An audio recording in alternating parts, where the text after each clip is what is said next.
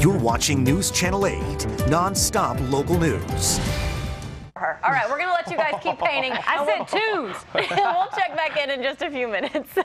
All right, well, Christmas is now less than 48 hours away, and no doubt you're excited, but maybe you're not as excited to deal with your crazy in-laws. Well, here to tell us about how to balance the holidays and your relationships is clinical psychologist Dr. Chloe Carmichael, who goes by Dr. Chloe. Thanks for coming in. Thanks so much for having me. All right. Um, I feel like there's a lot of people dreading going Yes. home for the holidays because of this right away. So we're going to talk about the three big things that couples deal with around the holidays. And where are we going to start? Sure. Well, one of the biggest ones is actually marriage and family building. So, whether it's a member of the couple who's saying, Where is my ring underneath the tree?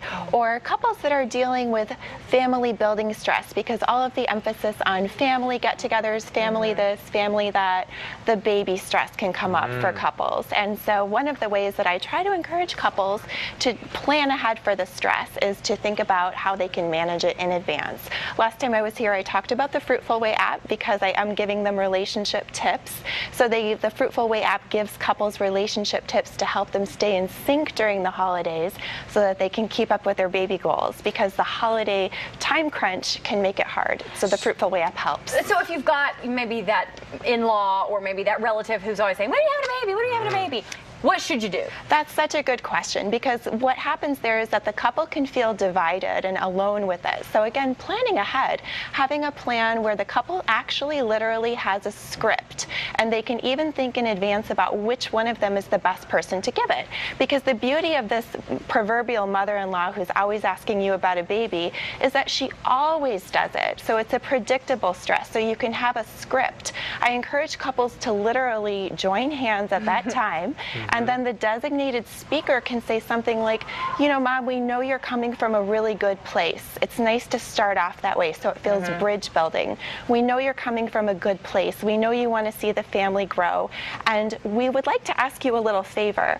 Would you be willing to put this baby topic on the shelf just for this holiday season so, So- that we can focus on the family together we already have? So pre-conversation. I had a friend who dealt with this all the time, and and they had fertility issues as well. And so she would respond with to the family members, "Oh, we're still practicing," and that shut them up real quick.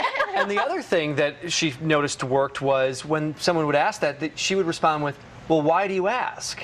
Because that suddenly then puts them in check. Like this has nothing. not this, this has nothing to do with you. I don't know if you would suggest doing that because then you're starting some family drama. But uh, Yeah. well, that I think I like the way really of trying to say, Mom, thanks for reaching Right. out. We know that you're coming from a good place.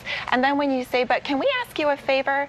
That makes Right. her feel like she has a choice in the matter and like you guys are on the same team And so that you can enjoy the holidays as a family. creating clear goals and expectations Mm-hmm. going into it so that you know you can't expect someone to know how you feel about something without telling them Right. so Exactly. it's great So after the family building issue, Right. Then would actually come family conflict, which is another one that we're just starting to touch on with the in laws.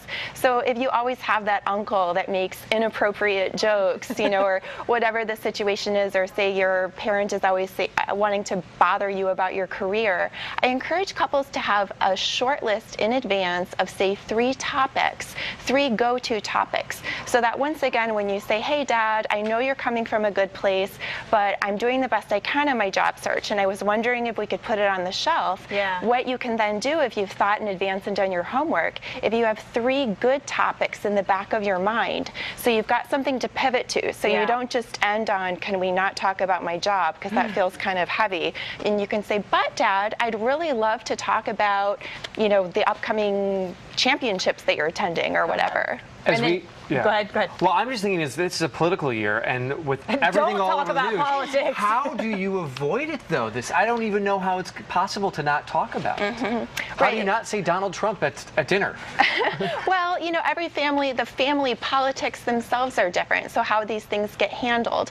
Um, if, if you're somebody that you just don't want to talk about politics at all again, I really encourage you to have those go-to topics in your mind about the other person, so that if you're shutting down one topic, you're making it clear that you still want to connect with that person. So you can say, hey, you know, let's take a quick break from the politics this holiday season, but how are the kids doing? How are the kids doing? Or what's- Redirect. Yeah, Exactly. So don't shut down the conversation. Right. Just Yeah. Because that's when people are like, well, I can't Yeah. talk. I can't say anything. Oh, it's family, It's my family. invited I should be able to talk around my family. Exactly. You speak like you have experience. Yeah, it sounds like I'm sensing a little tension about this. Woo, the holidays at the O'Shea's. Yeah. All right, Dr. Chloe, thank you so much. Really Thank good you. advice. Great I hope people take it. Thank you so much for Merry having Christmas. me. Merry Christmas. All right, we are going to get one more check on our painters, Jumi and Julie, and see just how they are doing with their little skating penguins.